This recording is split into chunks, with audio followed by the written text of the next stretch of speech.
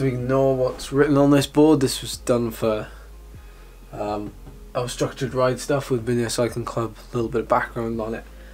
We'll just ignore that. I need to like get rid of it. Hello everyone, welcome back. Uh, I really need to um, tell you about two two things, two two brands in particular that I've been very fortunate to link up with this year at the very least, and um, I'm very excited to to tell you to tell you who they are. But if you've been eagle-eyed the last week or so, you probably would have seen me uh, at least wearing either a piece of their kit or at least wearing the helmet. Teamed up with Band of Climbers, and it almost seems like a no-brainer because um, they just love climbing, obviously.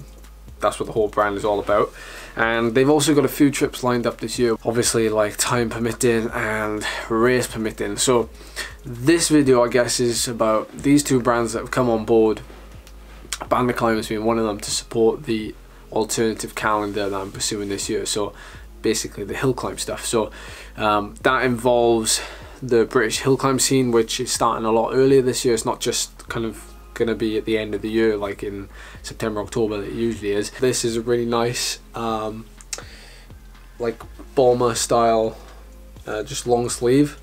Really nice. I love the color, by the way, like the, the camo, the khaki, it's really nice. And uh, they've also sent me a, a jersey. So this is the jersey. It's a uh, long sleeve. It's uh, it's called the Thermal Ascent. It's got Together We Climb on the inside. That's really nice. Um, but yeah, it's like super fleece lined. It's a really nice material. It's actually got like a zip pocket as well, which is ideal for me to carry my um, my GoPro in or something. It is probably like I've worn this in like two degrees with one base layer. But they've come on board and they've been very supportive already. You know, we've we've teamed up. Uh, we teamed up near the end of last year, talking about things and how we can get things going. There's going to be um, the skin suit, which I'll put on the screen right now. This is going to be the British Hill Climb Championship stripes, skin suit, whatever the heck you want to call it. I've gone for black because I've always I've always liked black kit. I've always raced in black kit. Like when we raced for JLT Condor, the men in black we were known as. I just loved it. It was just so min like the minimalist approach has always like worked for me. Like I just love the love black kit. Um, the idea of having, uh, for me anyway, like I'd like to have because when I won the National Hill Climb Championship, I didn't get like a stripy jersey.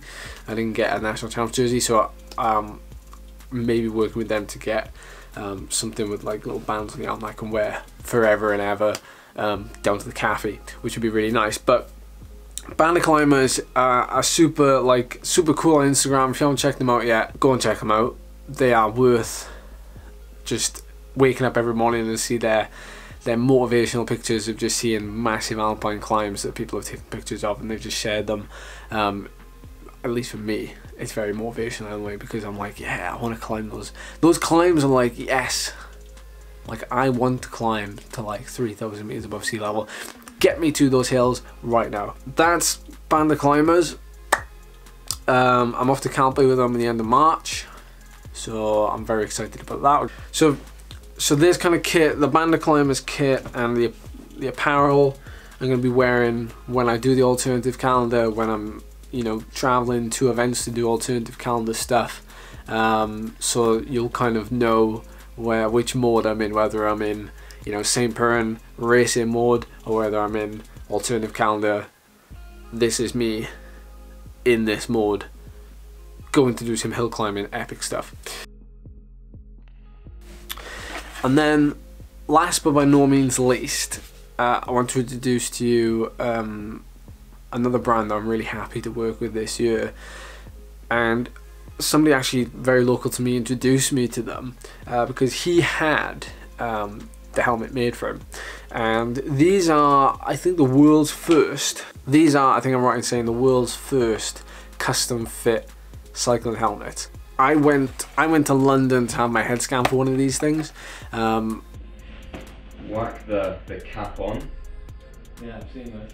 I went to London to have my head scanned for one of these things, and uh, Hexr make the helmets. They are probably one of the coolest bits of tech I've seen in terms of you know going down the safety route. I've I've kind of gone uh, this year. I've kind of gone down that safety route um, without even realizing it. Like I've teamed up with Litelok to try and bring awareness to that brand, um, Bike Lock brand by the way, which uh, which are based very near me as well. I've also teamed up with Shockbox as well, so they'll be transporting my bike um, to races and events around the world. But the the Hexr lid got me very interested when I first when I first saw it. And um, you can get two shells because these are interchangeable the top shell so it's just a simple case of if you see that bit right there actually just like pops out this little small bit. And then the cover comes off. So you can change it for a white cover. So far I've just got white and black. This itself weighs 100 grams. I know it's a fair weight. But if you're looking for aerodynamics it is aerodynamic this helmet is aerodynamic I've got something here They've tested it in the um, in the wind tunnel with it's tested over 40 kilometers. Tested by total tested by TotalSim over 40 kilometers. I'm not sure the speeds and things like that, but you have Hexr against the Giro Vanquish, the POC Ventral, the Kask Protone, which I have. Um, it's 20 seconds faster over a 40k time trial than the Kask Protone. Um, but that's obviously with the shell on. Without the shell it's this absolutely crazy looking piece of technology which um, which basically saves your noggin from uh, from from anything I suppose.